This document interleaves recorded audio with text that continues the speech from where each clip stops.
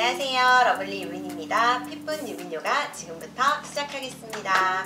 저번 주부터 2분에서 3분 정도 요가 동작을 이제 이어져서 여러분들이 따라할 수 있도록 하는 수업을 진행하게 됐는데요.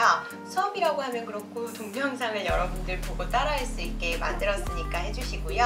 어떤 부위를 하나를 자극하기도 하고 연결성을 중요시 여기기도 합니다 이번 주는 우리 몸이 이렇게 좌우 대칭 구조거든요. 비대칭 구조라서 그거를 맞춰주는 동작을 할 건데 코어, 소위 말하는 필라테스 요가에서 말하는 단전, 복부, 이 아래쪽도 자극을 많이 할 거기 때문에 허리에도 좋고요. 그리고 스트레칭도 되고요.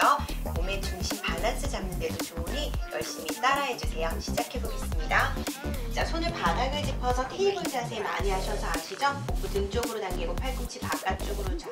이 상태에서 오른쪽 다리를 먼저 뻗어서 골반 높이에서 골반이 틀어지지 않도록 합니다. 왼손을 쭉 뻗어주셔서 손끝을 바라보시고 one, 둘, three, four. 자, 들어 마시고 여기서 오른쪽 무릎 을 접어 다리를 끌어올리며 왼손이 가서 엄지발가락 아래쪽을 잡아끌어요.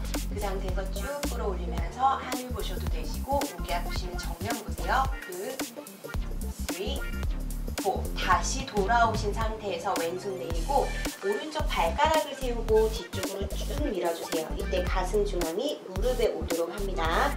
자 반대쪽 들어가 볼게요. 다시 손으로 바닥을 짚고 팔꿈치 바깥쪽 힘드신 분은 팔꿈치를 살짝 접어주세요.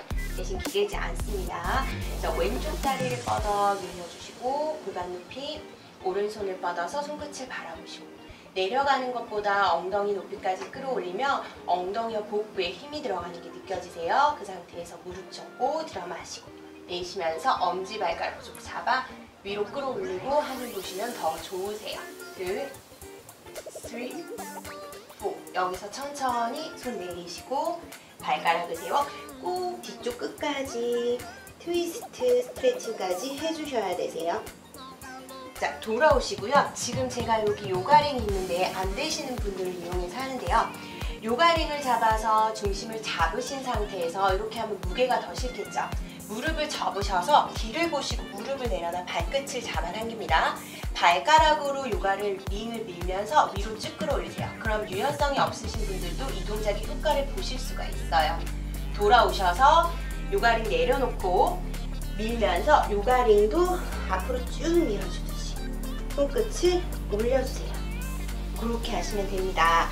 지금 보시는 영상을 5에서 8카운트 정도 홀딩한 상태에서 3세트를 반복해 주시고 잘 되시면 반복이 중요하니까 5세트를 꼭 반복해 주시고요. 혹시라도 집에 링이 없으시면 타올 묶어서 당기거나 스트랩 이용하시면 되세요. 지금 보시는 동영상 좋아요, 댓글 많이 많이 달아주시고요. 네이버 TV, 유튜브, 빙글, 카카오 TV에서도 보실 수 있으니 꼭 한 번 더 시청 부탁드립니다. 오늘도 봐주셔서 감사합니다. Beijo!